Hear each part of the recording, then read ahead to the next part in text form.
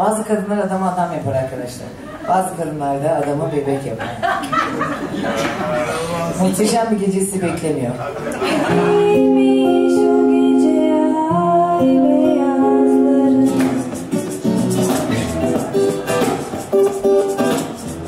Ama şöyle bir durum var. Bu cinsiyetçilik değil sadece cinsiyetçilik bu.